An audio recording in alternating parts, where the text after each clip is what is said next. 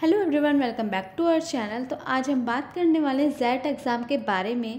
पर वीडियो को स्टार्ट करने से पहले, अगर आपने हमारे चैनल को सब्सक्राइब नहीं किया है तो प्लीज़ सब्सक्राइब कर लीजिए and press the bell icon for more latest updates तो स्टार्ट करते हैं और जानते हैं जेड के बारे में। तो जेड का full form Xavier aptitude test है, जो ऑर्गेनाइज्ड है X L R I mean Xavier school of management से।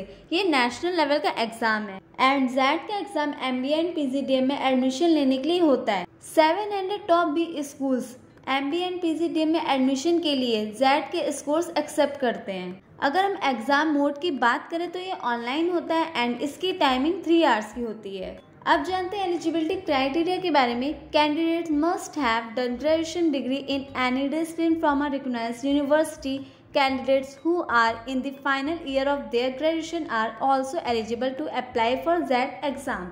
अगर हम रजिस्ट्रेशन की बात करें तो इसका रजिस्ट्रेशन ऑनलाइन होता है एंड इसकी application fees seventeen hundred fifty rupees है.